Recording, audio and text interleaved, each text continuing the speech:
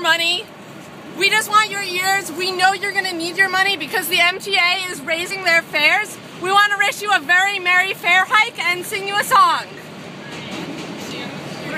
MTA's only listening to the banks, unresisting. They should fight for us, but don't make a fuss. MTA should take a fucking stand.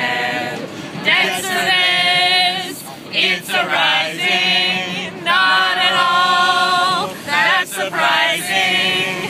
We'll never pay off these interest rate swaps. Why can't they negotiate a plan? Expect to see more incarcerations of people who just can't afford the fares. We only jump the turnstiles when we have to. The NYPD doesn't fucking care.